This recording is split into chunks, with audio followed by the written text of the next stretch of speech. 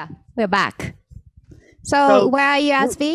We are now in um, the town of in Okuma, and uh, we are uh, very close to the entrance to the exclusion zone.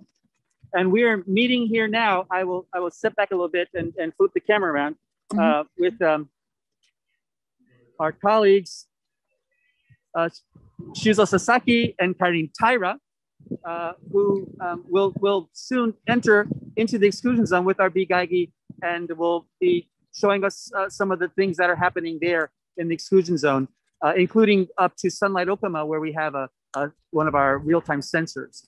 Uh, and uh, you know they will enter. They have permission. They will enter and drive around for a while and uh, and talk, and then uh, we will meet up with them afterwards. And here is the uh, bGeigie cast is now here on the car, so they will be streaming the radiation data from the from the car as they go through Okuma. 佐々木さん、平さん、こんにちは。おはようございます。こんにちは。よろしくお願いします。よろしくね。I want to go back to uh, to Azby in the car, and he is going to uh, you know talk about you know the, the zone, and then we'll go into the zone. And Azby, over to you. Hi, here we are. Yes, uh, thanks, Rich. It's good to hear from you, and thanks, Watanabe-san. Um, so, uh, Sasaki-san, do you hear us? Sasaki-san? Are you are you there? Is Sasaki-san linked in? Ah, yes. I'm now okay. on. Great. こんにちは。あの、こんにちは。今どこどこですか Uh, in the interim storage area. Okay, so Sasaki-san uh, and and Karin-san are now in the uh, exclusionary zone, and this is uh, a place called the interim storage area, which is uh, a, a massive landfill and processing for all of that uh, decontamination waste, mainly soil. They're making huge landfills. This entire entire valleys are being filled with the soil, this contaminated soil, and there's uh, processing facilities for it. Uh, places where there were villages and farms and people living is now inaccessible, and for at least 30 years will be closed off uh, as landfill for this waste. So Sasaki-san, uh, I'm asking him what kind of route he wants to take today through the exclusion zone. Uh, we are now driving uh, uh around the, the, soil storage places, and uh, we are heading to the uh, Sunlight Okuma. It's nursing home for the elderly in Okuma, and the Safecast device is uh, placed placed there. Yes, that's great. Yeah, I'll explain. Um, yeah, Sunlight Okuma is uh, it was an elderly home on a hillside, and uh, I guess three years ago, Sasaki-san took us there, and th- there was a beautiful view of Fukushima Daiichi, just like less than two kilometers away, and we said, "Do you think we can put a sensor here, or ha- what? Do, who do we have to talk to?" And uh, ultimately, we were able to do that. And one of our first um, uh, it was, it's it's the um, SolarCast Nano radiation sensors uh, was placed there and has been sending data for for years. So uh, yeah, now you'll go up there, right? So, um, Sasaki-san, how often do you come to this uh, exclusion area? Um, not so uh, frequent uh, Yeah. these days because of Yep. the corona, coronavirus. Yeah, it's hard to get permission to enter, right? And coronavirus has made it even harder. But every day, how many trucks are coming every day bringing the soil, the contaminated soil? okay, uh, 2,000 trucks.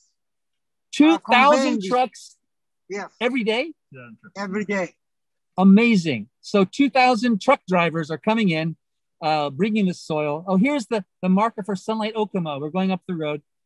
Um, 2,000 trucks of soil. And, uh, and yet it- it's hard for journalists and others to get access now because of new restrictions due to coronavirus. Yeah. So um, Sunlight Okuma, uh, they evacuated very early, right? Because it's so close to uh, Fukushima Daiichi, right? Yes, it's uh, two kilometer from the Fukushima Daiichi nuclear power plant. So they got some of the first um, uh, evacuation orders, right? Maybe within 10 hours. Oh, evacuate order Yeah. was issued at, I think it was at the night of March 11th in two kilometer radius. Yeah. So they were all put on buses and and cars and were taken. But but these people, everyone survived, right? And many other nursing homes, uh, many people died, correct? Because of the they they were uh, uh, had intensive care, but everyone survived from this nursing home. Yes, 90 people, 90 patients were here, Yeah, but uh, uh, and all the all of them survived. uh, that's great. That's great. So I see you're driving up to the parking lot, not far from uh, where the sensor is, right? Ah, yes. Now we are in the parking lot. Parking. Okay. Okay. And uh and let's see how it goes when we go up to the um yeah, there's the fence line there. It's so rainy, it's hard to see. Do you think we can see Fukushima Daiichi? Uh, it's Yes, great thoughts. Maybe you can see several uh, water tanks from here. Okay. Okay. Will you get out of the car in the rain? Oh, okay.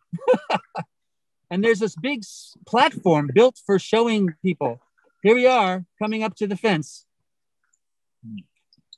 Uh, here's the fence, and uh, is our sensor there? ah yes. Oh, There- can we take a look at it? Rain's very heavy. Really heavy. Is it possible to see the sensor? Yeah.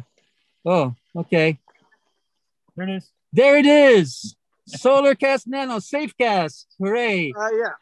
Yeah. Esme, Esme, Yes. this is Ray. Is that the same? Is that That's the same one. been- Over three years. Over three years, sending data constantly. I am. I am. I must say, I'm truly impressed. I mean, I, I We're impressed, Ray. It's a great design.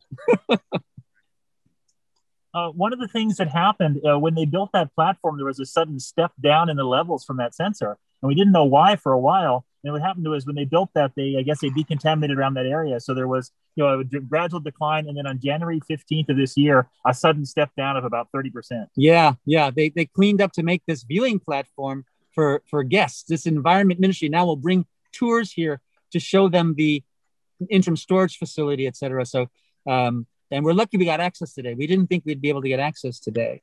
Um, so yeah, it's amazing. It's an amazing piece of work. There's the device still sending data.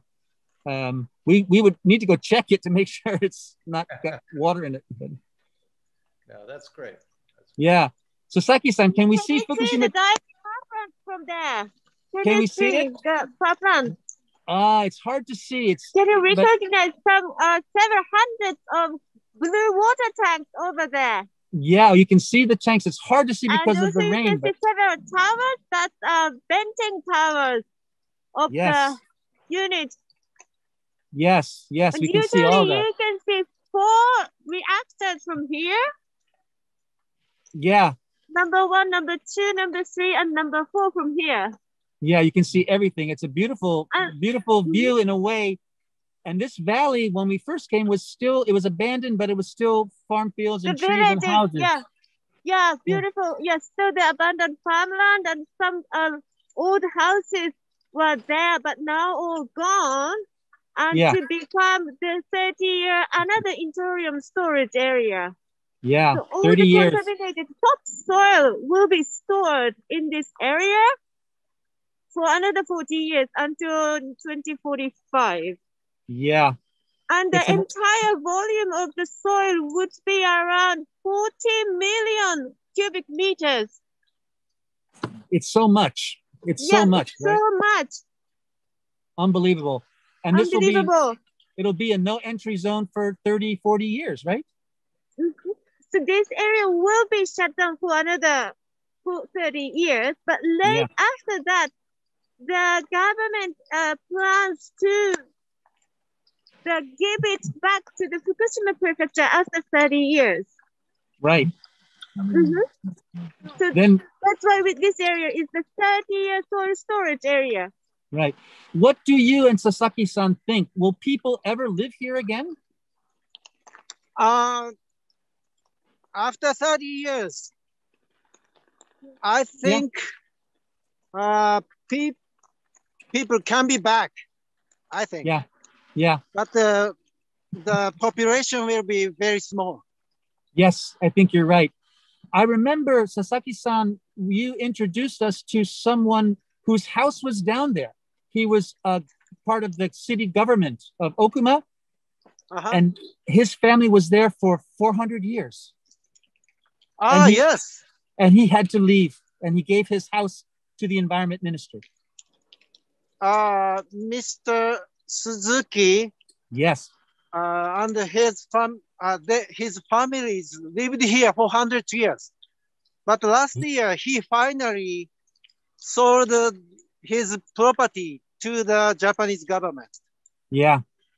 It's unbelievable to me. I just can't believe that. And he he didn't seem upset. He said, "Yeah, it, it yes. it's the right thing to do." You know.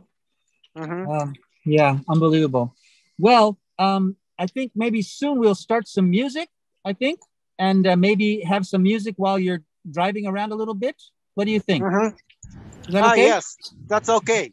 Are Yes, you so, So we will continue to drive around here okay? That's great. during Thank the you. music session. Thank you so much. th- thank, thank you so much, Azby. Uh, we're, we're about to cut over, but uh,